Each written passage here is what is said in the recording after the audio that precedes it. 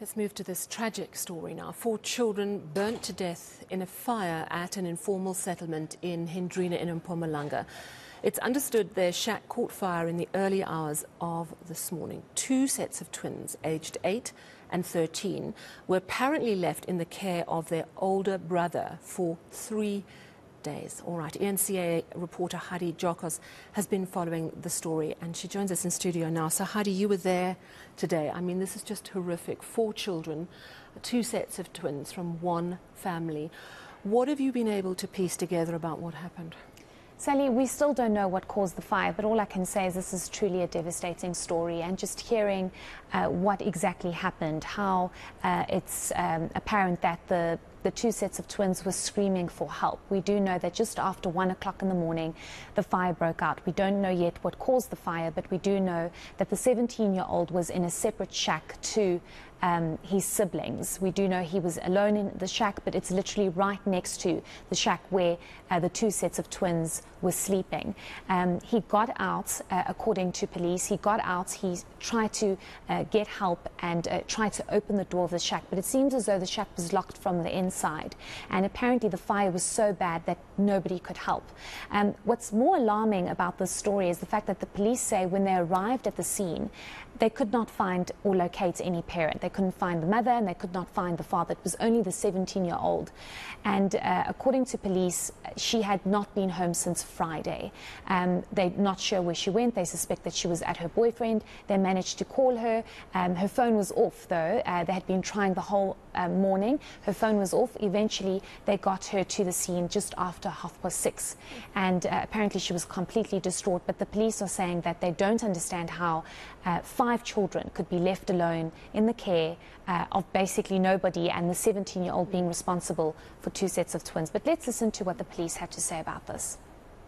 Our members were called earlier on, earlier in the morning at the around um, one between one and two uh, to that uh, there was a fire and then when they when they arrived here indeed they were they found one shack on fire uh, it was it was it was already you know you know uh, out of control. And then they they called the the fire extinguishers. And then they came in they tried to you know extinguish the fire. But then after the whole thing has been done unfortunately two sets of twins um, were already gone. They succumbed to the to the fire. We don't know now for now what caused the fire.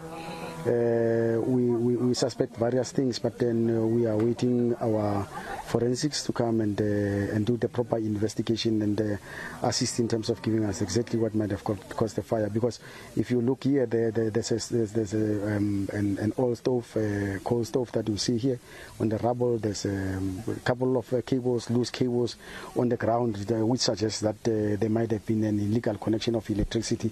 So uh, are various things that might have caused this thing. And it's winter, so we don't know whether perhaps there was a heater inside or whether there, perhaps there was a candle because they said that the electricity was off from 11 o'clock in the evening until 1 a.m. We don't know where, where, what might have caused the fire. Ah, it's a horrific story, Heidi. Mm. Um, you've also spoken to a neighbour who tried to help the four children.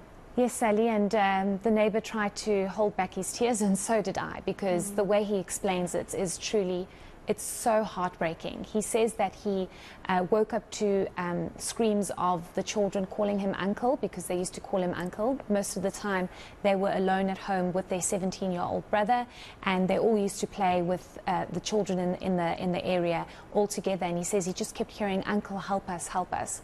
And he says he, he jumped, um, he says he woke up in his sleep, of course, and he jumped up, um, jumped over the, the gate, and he says um, he tried to open the door and he could still hear. I think this is what completely broke my heart is that he could still hear the kids screaming for help.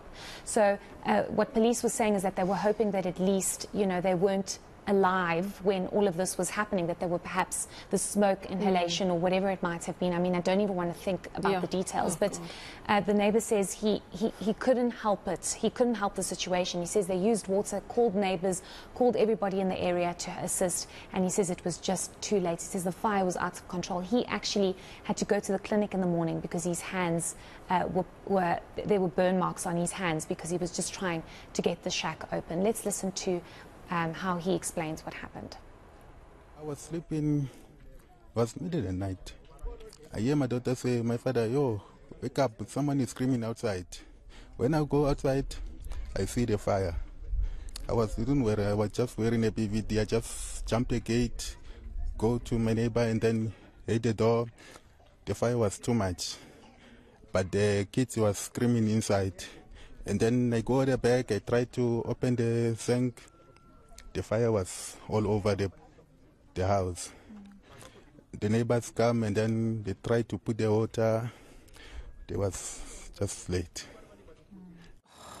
Heidi, I mean, it's just horrific, but it's important to engage on the story because it raises broader questions about um, what, you know, apart from the fact that the mother was absent.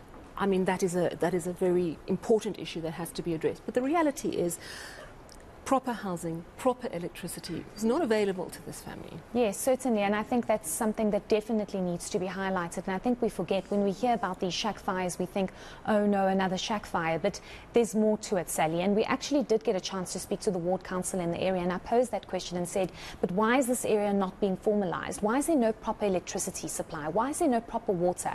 Why do these people not have proper housing? Why must they be subjected to this? Their dignity is being taken away every single And now you have four lives lost. This could have been worse if the shacks were very close to each other. Luckily, they were not close to each other. There's a bit of space between. Uh, what would have happened to the 17 year old? Nobody knows. And this is vital for government to understand the urgency in providing proper housing to the people of South Africa. You cannot have this situation on a constant basis. So it's definitely something we'll be following up on. And the ward councillor indicating that they are trying to expedite the process. Uh, but of course, there's a lot involved and it's not that simple. But four lives have been lost. Yeah. It's just so tragic. Two sets of twins aged 8 and 13. Oh, Heidi, a very sad story indeed. Of course, that incident happening in Hendrina in Mpumalanga in the early hours of this morning. Thank you very much, Heidi Giokos.